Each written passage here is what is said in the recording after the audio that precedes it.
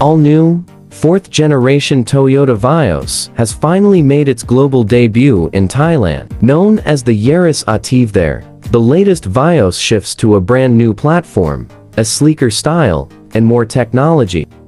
The new Vios now moves to the Daihatsu New Global Architecture, or DNGA, which is also used on the Toyota Raize, Avanza, and Veloz. The 2023 Vios is larger than the current model, which means it is now 4,425 millimeters in length, 1,740 millimeters in width, and 1,480 millimeters tall. The all-new Vios gets a stylish aesthetic upgrade too with the fastback-like roofline and design cues reminiscent of the Camry and Corolla. The angular headlights now sport L-shaped drills, while the hood and front grille are more vertical, giving it a stronger on-road presence.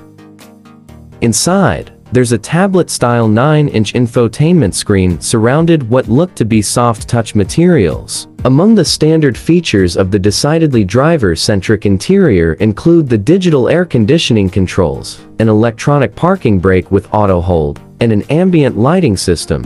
Aside from selectable ambient interior lighting, the all-new Vios also comes with a 7-inch digital instrument cluster, a PM 2.5 filtration system, quilted leather seats, and smartphone mirroring through Apple CarPlay and Android Auto.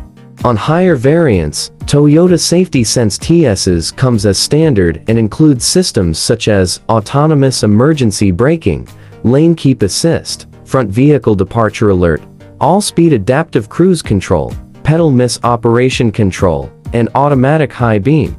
Keeping to Thailand's eco-car regulations, the Yaris Ativ uses a 1.2-liter four-cylinder engine with 94 horsepower at 6,000 revolutions per minute and 110 nanometers of torque at 4,400 revolutions per minute. This is then paired to a CVT gearbox that pushes its economy to 23.3 kilometers per liter.